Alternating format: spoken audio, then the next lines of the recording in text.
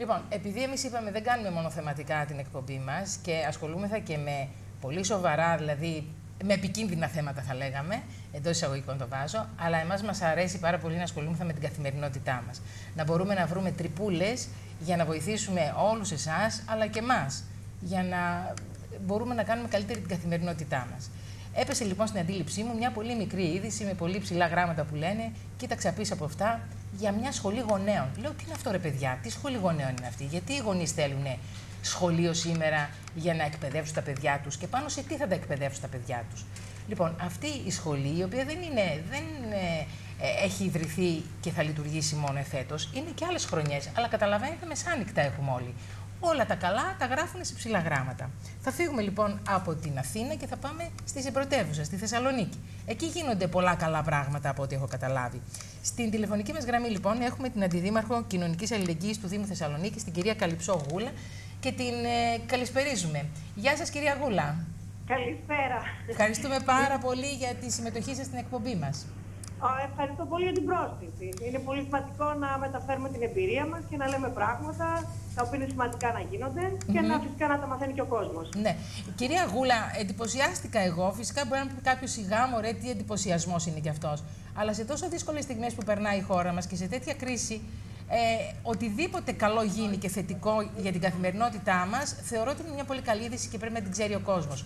Τι ακριβώς είναι αυτή η σχολή γονέων, να ξεκινήσουμε από εκεί και να μας πείτε μετά και για τα άλλα προγράμματα αλληλεγγύης που κάνετε στο Δήμο σας; Κοιτάξτε, αυτό είναι ένα πρόγραμμα το οποίο υπάρχει από το 2001 στο Δήμο.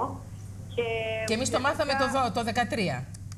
Ε, ναι, και ουσιαστικά το θέμα είναι ότι ε, έχει τις μέρες μας μεγάλη ανάγκη να το παρακολουθούμε σαν πρόγραμμα και να το ετείνουμε με την εξής έννοια ότι μέσα στα, στο πλαίσιο της οικονομικής κρίσης είναι και αυτό μία ανάγκη, οι γονείς να έχουν μια ενίσχυση γιατί μέσα σε όλα τα άλλα προβλήματα που αντιμετωπίζουν, επιβίωσης, ανεργία, αντιπαραθέσεις, το μεγάλο με το παιδιό γίνεται ακόμα πιο δύσκολο, όπως είναι εύλογο να το αντιληφθεί κάποιο.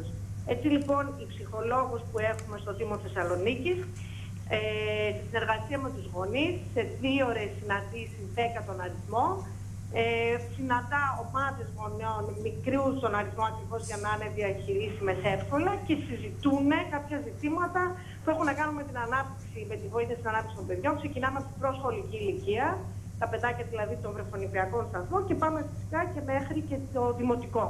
Κυρία Γούλα, ε, να ναι, σα ρωτήσω κάτι. Ζευγάρια ναι. πάνε είναι υποχρεωτικά να πάνε ζευγάρια ή πάνε και μονογονεϊκές; Όχι, όχι, δεν είναι υποχρεωτικό. Μπορεί να είναι και γονιός μόνος του. Δηλαδή, ναι, ναι. Μονογονεϊκές ε, οικογένειες. Ναι, ναι, ναι, και μονογονεϊκές, αλλά και μόνο ένας από τους δύο γονείς. Γιατί δεν είναι. Να το πω έτσι πιο πολύ πάει σαν ένα group therapy, Αλλά είπατε ομαδικέ συναντήσεις. Αυτό ήθελα να σας ρωτήσω. Δέκα άτομα λέτε. Ομαδικές συναντήσεις. Ναι, δεν πάει ο group των ναι. 10 ατόμων, ας ναι. πούμε, ακριβώς για να μπορεί. Υπάρχει συνδρομή και από εθελοντέ ψυχολόγου, γιατί αντιλαμβάνεστε βέβαια με τη μόνο του ψυχολόγου του Δήμου δεν επαρκεί, αλλά έχει τη λογική ακριβώς. Δεν είναι μάθημα, είναι πιο πολύ με βιωματική κατάσταση mm -hmm. και ανταλλαγές εμπειριών για κάποια ζητήματα που είναι σώσο, όπως τα λέγαμε όταν διαβάζαμε, ε, και συνδέονται και με καθημερινές καταστάσεις που ζουν οι γονείς που τους μεταφέρουν τα παιδιά τους, βέβαια όταν πολύ μικρά, δεν τους να μεταφέρουν, αλλά τα παιδιά τους δημοτικούς σαφώς μεταφέρουν ζητήματα στο σχολείο θεμάτων bullying, mm -hmm. τα μπροστά, βίαιε καταστάσεις ή τέλος πάντων οι παρενοχλήσει που μπορούν να υπάρχουν και όλα αυτά λοιπόν πέφτουν στο τραπέζι και γίνεται μια κουβέντα και μια στήριξη. Δηλαδή, πώς να διαχειριστεί ο γονιός τη συμπεριφορά του παιδιού του, αυτό είναι το νόημα. Ακριβώς, ακριβώς. Πώς να σε ένα παιδί το οποίο ήδη είναι πιο, έχει αναπτυχθεί και άρα μιλάμε για δημοτικό, να το αντιμετωπίσει και να μπορεί να, να το συνδράμει. Όταν είναι πιο μικρό και είναι της τάξης του βρεφονιπιακού σταθμού ή των ήπιων, σαφώς δεν θα, μεταφέρει μια εμπειρία, απλά θα, να έχει μια λογική, να, μια πιο σωστή εισαγωγικά ανάπτυξη. Ναι. από κάποιον ψυχολόγο, παιδοψυχολόγο, ψυχολόγο, μέσα από το Δήμο που έχει μια εμπειρία και τη μοιράζεται με τους γονείς. Τι επίπεδο ε, έχουν οι γονείς που πάνε, δηλαδή το μορφωτικό τους επίπεδο, ε, ποιο ακριβώς είναι; Δεν είναι, είναι διάφορο. Δεν έχει, δεν έχει μια συγκεκριμένη. Ξέρετε γιατί το λέω αυτό; Γιατί οι παλαιότεροι, ας πούμε, από εμπειρία και με το ένστικτο μεγαλώνουν όλα τα παιδιά. Σήμερα λοιπόν οι ανάγκες μας κάνουν να ε, μπορούμε να πάμε και σε μια τέτοια σχολή που κάνει ο Δήμος μέσα στα πλαίσια της αλληλεγγύης. Ε, και πραγματικά μου κάνει εντύπωση τι ανάγκη μπορεί να έχουν. Δηλαδή, το ένστικτο πλέον δεν λειτουργεί σωστά, λειτουργεί στραβά και χρειάζεται αυτή την ιδιαίτερη βοήθεια. Ε, μην το λέτε αυτό, γιατί γι' αυτό και εγώ σας είπα. Ε, δεν είναι θέμα το να είναι σαν μάθημα. Δηλαδή, δεν είναι κάποιος ο οποίος θα, θα μας Όχι, όχι, να διαχειρίζετε το παιδί. Να το διαχειρίζετε ναι, αυτό. Είναι, ε, η καθημερινότητα όλων ε, μας είναι σε τέτοια συνθήκη βιασύνης, αν θέλετε, ή και όλα αυτά που υπάρχουν. Το που συμβαίνουν με την κρίση, λέτε, ε; Θέμα κρίσης ναι. τώρα. Ε, ναι, θεωρώ ναι. λοιπόν ότι αυτό είναι που του σωθεί. Και εξάλλου, κοιτάξτε, αυτές οι ομάδες, γιατί ε, γίνονται σε δύο φάσεις μες στον χρόνο, ναι. ουσιαστικά μην φανταστείτε δηλαδή ότι είναι και των 100 ατόμων, ναι. ουσιαστικά είναι 50 με 60 άτομα το κάθε εξάμεινο.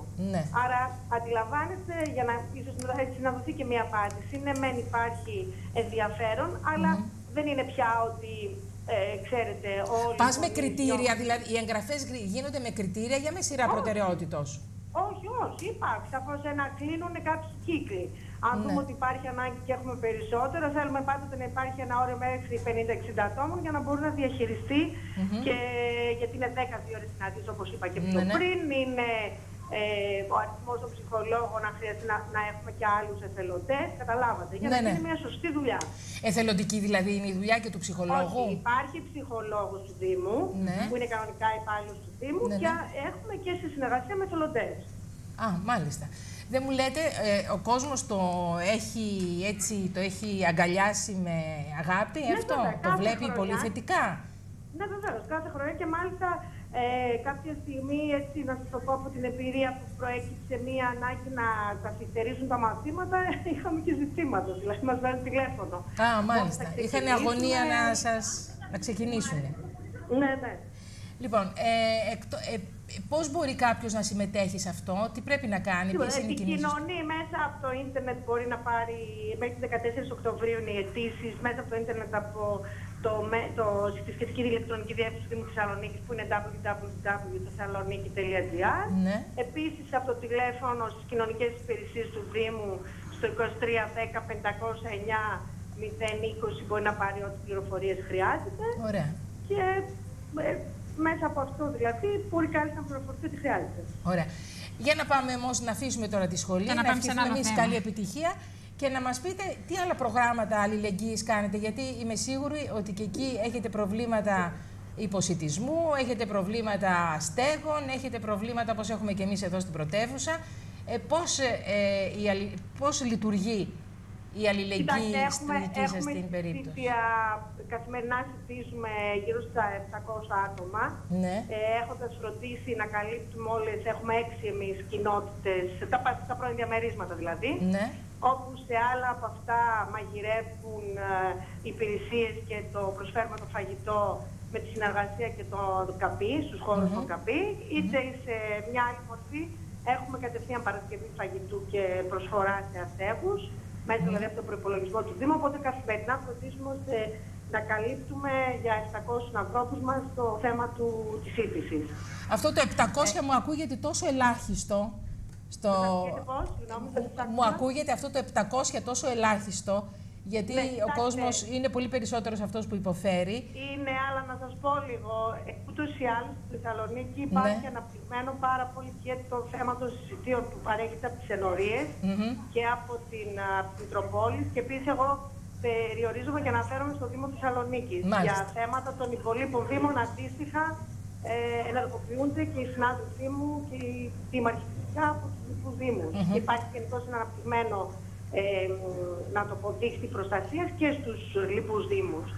Αλλά στην ε, Θεσσαλονίκη ε, δεν είναι μόνο Δήμος, είναι και ομάδες, είναι και σύλλογοι.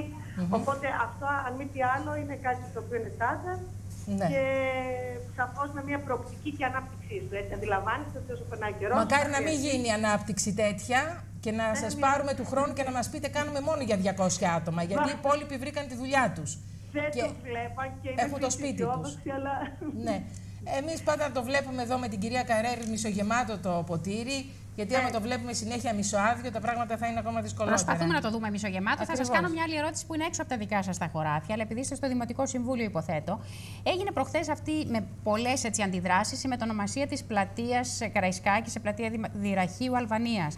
Μήπως ξέρετε να Ναι. μας πείτε με πόσες ψήφους υπέρ από το, Δη- ε, πέρασε από το Δημοτικό Συμβούλιο; Τι να σας πω, σας- συγγνώμη, επειδή μέχρι τώρα σας ακούω καθαρά. Μήπως τι ξέρετε, είπατε; επειδή είστε μέλος του Δημοτικού Συμβουλίου, Ναι, με ναι, βέβαια, πόσες είμαι. ψήφους υπέρ πέρασε αυτή η πρόταση της μετονομασία της πλατείας Καραϊσκάκη σε πλατεία Δημαρχείου Αλβανίας. Ήταν οριακή η Δυραχείου. πλειοψηφία. Όχι, δεν, ε, αυτή τη στιγμή να σα πω την αλήθεια δεν έχω το νούμερο. Δεν το ξέρετε. Απλά έγινε μια αντίδραση ναι, και από τους κατοίκους που Ναι. για το θέμα της Πεδοκατά. Επίση, από ότι ε, έχω την εντύπωση χθε που αναφέρθηκε, δεν ήταν καν το όνομα ως πλατεία Καραϊσκάκη. Δηλαδή, αυτό ήταν κάτι το οποίο ήταν σημικό. Ε, δεν, ε, τώρα όμως, απλά να μην σας λέω κάτι άλλο που το έχω μπροστά Ναι. μου. Πάντως δεν σας Θέλετε έχω να πείτε το- ότι δεν έγινε μετονομασία, ότι δεν υπήρχε όνομα πλατείας και δόθηκε αυτό; Αυτό μας ναι, λέτε; και ήταν με ουσιαστικά μια ε, χημοτυπική η, η όλη αυτή η εκδήλωση. Είχε έρθει να αδερφοποιημένη στο τυράχιο, όλοι και τέλος πάντων έχω την εντύπωση ότι συνολικά έγινε λίγο περισσότερη φασάρια από ό,τι έπρεπε. Αλλά, εν πάση περιπτώσει, δεν... Συγγνώμη λίγο. Ναι, Ναι. μας ακούτε; Ναι, ναι, το Ναι, ναι, ναι, ναι. ακούω. Και επίσης, ναι, μέσα στα πλαίσια γενικώς της σχέσης υπάρχει και η προοπτική ότι και στο Τυράχιο θα δοθεί αντίστοιχα το όνομα. Ε, Πλατεία Καραϊσκάκη; Θεσσαλο- Α, Όχι Θεσσαλονίκη. Καραϊσκάκη. Α. Ναι, κάτι στη σχέση με της Θεσσαλονίκη. Εδώ δεν είναι Καραϊσκάκη. Το Καραϊσκάκη μιλάμε σε σχέση με την πόλη τη Θεσσαλονίκη. Μμ. Να, ωραία. Εντάξει. Αν θα γίνει και θα είναι Θα αμοιβαίο το που λένε, παρακολουθήσουμε, ναι. μια αδελφοποίηση που λέμε, Μια αδελφοποίηση. στις Μάλιστα. πλατείες τώρα, όχι Ούτως στους ή δήμους, άλλως, στις Στα πλατείες. πλαίσια αδελφοποίησης γίνονται όλα αυτά που σας λέω. Ναι, ναι. Α, Δεν είναι μάλιστα. μονόπλευρα. Θα το παρακολουθήσουμε ακριβώς, Ωραία. ναι. Λοιπόν, και- λίγο πριν τελειώσουμε, έχετε να μας πείτε κάτι άλλο που περιλαμβάνεται στο πρόγραμμα της αλληλεγγύης; Ναι, ήδη με- εκτός από τα συσίτια υπάρχει μια συνεργασία με το Παπάθιο που α, είναι ε, το γνωστό αν δεν ξέρω το ξέρετε στην Αθήνα το Παπάθιο, το Ίδρυμα το Παπάθιο μας έχει παραχωρήσει ένα χώρο για την παροχή στέγης για τους αστέγους Ναι. όπου ο Δήμος Θεσσαλονίκης σε συνεργασία με ε, τον ΟΚΑΝΑ και με δύο μη κυβερνητικές οργανώσεις στην άρχη της πράξης φροντίζουμε για τη στέγαση των αστέγων, σύντησή τους και για αντιμετώπιση θεμάτων φυσικά υγιεινής. Είναι υπνοτήριο, μπαίνουν το βράδυ και αποχωρούν το πρωί. Ναι. Και θέμεσα να κάνουμε και μια δομή ακόμα μεγαλύτερη, ένα χώρο υπνοτηρίου μετά από μια δωρεά που έχει κάνει στο χώρο η Φιλόπτυχος Αδερφότητα Ανδρών της Θεσσαλονίκης. Είναι κάτι που θα είναι έτοιμο αρχές Νοεμβρίου πιστεύω. Οπότε θα έχουμε και μια επικοινωνία φαντάζομαι τότε τηλεφωνική για να σας ενημερώσω περισσότερο. Ε, Εντάξει, Γενικά- αρκετά πράγματα κάνετε. Αρκετά πράγματα κάνετε. να κάνουμε, έχουμε... Σε περίοδο έχουμε κρίσης και ένα οικονομικής κυρίως κρίσης, που οι Δήμοι Ναι, δεν έχουμε έχουν ένα και πολλά δίκτυο χρήματα. Μετακίνησης αμαία στις εργασίες τους και μέσα στην πόλη ακριβώς για να μπορούν να εξυπηρετούνται. Και γενικά καθημερινώς κατεβάζουμε ιδέες και είτε με χρήματα του προπολογισμού μας που είναι ο μόνος προπολογισμό συνολικά στο Δήμο που είναι πάντοτε ενισχυμένος mm-hmm. συνολικής πολιτικής, παρά την προσπάθεια του κράτους να μειώνει μονίμως τα έσοδά μας. Μμμ. Ε, και επίσης και με δωρεές και με ανθρώπους που μας στηρίζουν. Πολύ ωραία. Να σας ευχαριστήσουμε πολύ κυρία Γούλα και ευχόμαστε καλή Να είστε επιτυχία καλά. στο έργο σας. Να είστε καλά. Να είστε καλά. πολύ.